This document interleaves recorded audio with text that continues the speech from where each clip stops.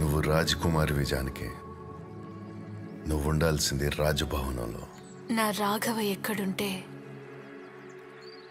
అదే నా రాజమందిరం. మీ నీడైనా మిమ్మల్ని వదిలి వెళ్తుందేమో. మీ జానకి వెళ్ళదు.